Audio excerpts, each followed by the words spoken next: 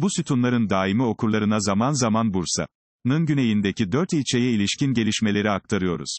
Merkez ve ova ilçeleri kadar, toprak büyüklüğü ve nüfus olarak da Bursa'nın önemli bölgesi olarak geçiyor. Yöreye salt ilçe nüfusları verileriyle bakmamak gerek. Kent merkezindeki varlıkları da siyasi güç oluşturuyor. Başka bir ifadeyle, dağ ilçeleri Bursa'nın il topraklarının da beşte birine sahip. Dumlupınar Üniversitesi Kütahya Teknik Bilimler MYO İnşaat Bölümü öğretim görevlisi Doktor Saadettin Topçu. Mun 4 ilçeye ilişkin hazırladığı rapor dikkat çekici sonuçlar içeriyor. Sanayi ve Teknoloji Bakanlığı, na bağlı Kalkınma Ajansları Genel Müdürlüğünce hazırlanan çalışma raporlarındaki SEGE 2017 ve 2022 yıllarındaki gelişmişlik verileri bölge ilçelerinin Keles hariç hızla gerilediğini gösteriyor. Doktor Topçu, SEGE verilerinde Bursa'nın 4 ilçesi Türkiye'deki 973 ilçe içinde çok altlarda olduğunu da vurgulamış. Örneğin, SEGE 2017 de 424. Sırada olan Orhaneli 2022'de 100 basamak düşerek 524. sıraya inmiş. Bursa'nın en uzak ilçelerinden Büyük Orhan 2017'de 747. sırada iken 2022'de 68 basamak gerileyerek 815'e düşmüş. Keza, Balıkesir, Kütahya, Bursa. Üçgeninde ve zengin krom yatakları bulunan Harmancık ilçesi de 2017'de 473. sıradayken, 2022'de 60 basamak düşerek 2022'de 533. sıraya kadar gerilemiş. Araştırmada sadece Keles ilçesinin 15 basamak yükselip, 2017'de 564. sıradayken, 2022'de 549. sıraya çıkmış. Özelleştirme nüfusları da eritmiş. Doktor Topçu, SEGE raporlarını irdelerken, bölgedeki kamu yatırımlarını ve özelleştirmeleri de mercek altına almış.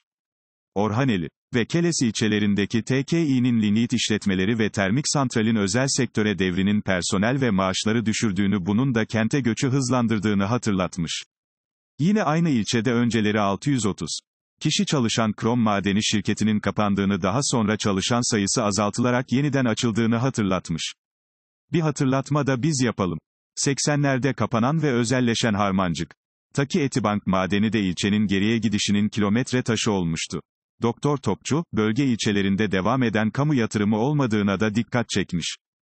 Bursa 2020 Çevre Düzeni Planı.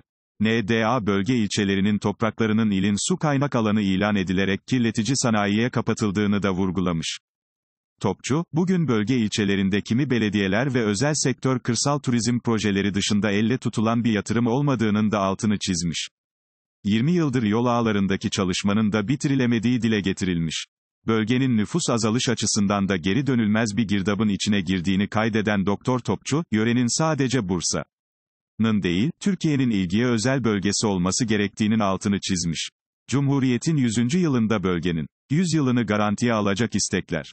Türkiye'nin en gelişmiş dördüncü ilinin bu dört ilçesinin 973 kaza arasında alt sıralarda yer alması kabul edilebilir bir durum değil.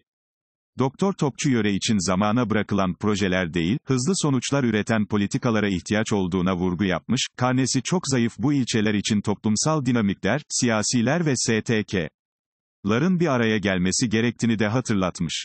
Topçu, Cumhuriyet'in 100. yılında yörenin devletten gelecek 100 yılını garanti altına alacak isteklerde bulunulmalı. Diye de öneride bulunmuş. Doktor Topçu'nun bir önerisi daha var ki, ilçelerde bin. Er adet imarlı konut parselleri üretilmesini de istiyor. Bunlar ilçeden göçenleri geriye dönüşü özendirecek işler. Ayrıca ikametgah şartının da konmasını talep ediyor. Bunlar yapılması kolay öneriler. Hazine arazileri bu amaçla değerlendirilebilir.